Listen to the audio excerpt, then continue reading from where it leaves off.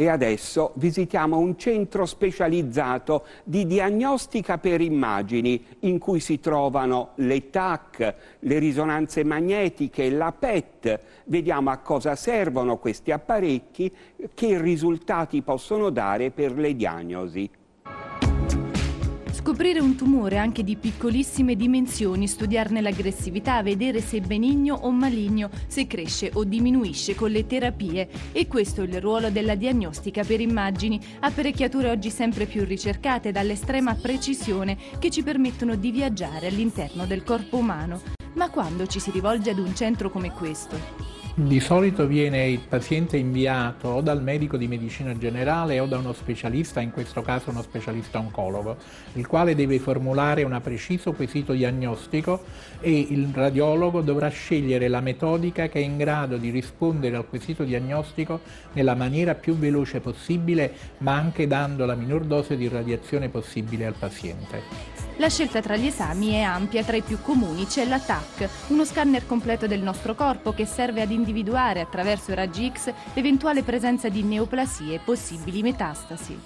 La TAC è indicata nella stadiazione di un po' tutte le patologie neoplastiche, un po' tutti i tumori. In particolar modo essa, anche come esame dedicato a singoli organi, eccelle nello studio del polmone. I tempi sono molto ristretti. Per una valutazione dell'intero corpo umano è possibile conseguire una valutazione ottimale in meno di 5 minuti.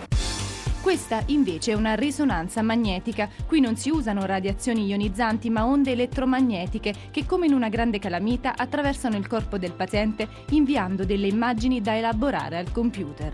La risonanza magnetica in genere è usata dopo altri esami, in special modo dopo la TAC, per chiarire eventuali dubbi.